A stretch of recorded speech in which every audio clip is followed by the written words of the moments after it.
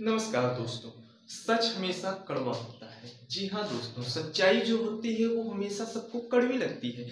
इस बात को और बेहतर तरीके से समझने के लिए आप इस क्लिप को देख सकते हैं।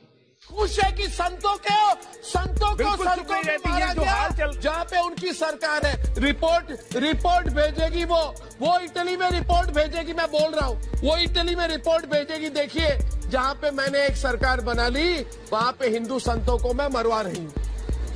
और वहाँ से वाहवाही मिलेगी उसको विक्रमादित्य की। वाह बेटा वाह। बहुत अच्छा किया सोनिया गांधी अंतोनिया माइनो।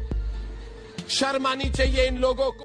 इस पर जी हाँ दोस्तों दोस्तों, इस क्लिप में अर्नब गोस्वामी जी ने सोनिया गांधी जी को सिर्फ़ एंटीनो माइनो कहा, जिससे उनको मिर्ची लग गई और साथ साथ सभी कांग्रेसियों को भी मिर्ची लग गई। और वो इसलिए क्योंकि सच हमेशा कड़वा होता है। और इसी के चलते कांग्रेसी गुंडों ने अर्नब गोस्वामी जी और उनकी धर्म पत्नी के ऊपर हमले कर दिए। इस बात को समझने के लिए आप ये क्लिप देखिए, अपने आप इस बात को समझ जाएँगे।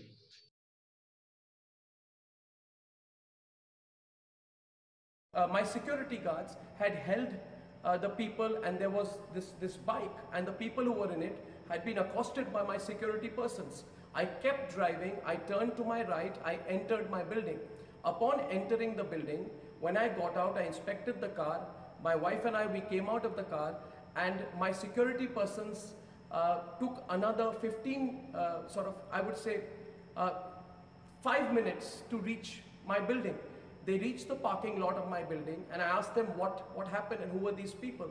And they said to me that they were, they were Congress workers, youth Congress workers who had said that they had been sent to attack me. And youth Congress workers who said they had tailed me and they were given instructions by their higher ups to attack me, to teach me a lesson. So I just want to tell you, Sonia Gandhi, that you're the biggest coward in this country right now. You, Sonia Gandhi, tried to carry out an attack on me when I was driving back from work. You know the questions I've asked you are absolutely appropriate. You have no guts to face me. My questions against you will increase. The questions I'm asking you are legitimate questions. You tried to attack me, you tried to attack my, my, uh, my wife, you tried to attack both of us while we were coming back, and I will hold you personally responsible for any consequences of any attack for, on me.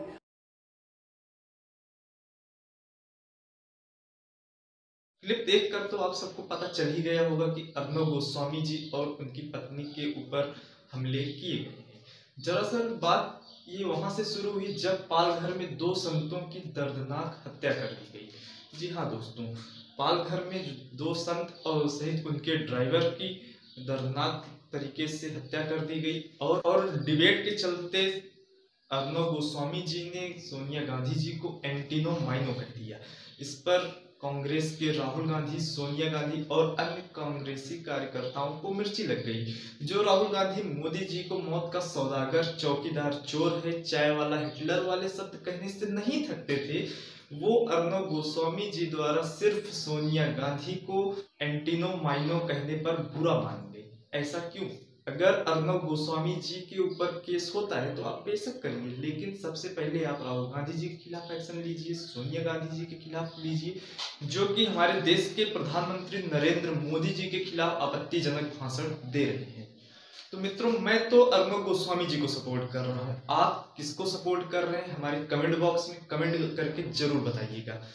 और जिन भाइयों को हमारा video पसंद आया हो, कृपया like ज़रूर करें। और जो भी भाई हमारे इस वीडियो को फेसबुक पे देख रहे हो, वो हमारे YouTube channel R S updates को सब्सक्राइब कर सकते हैं।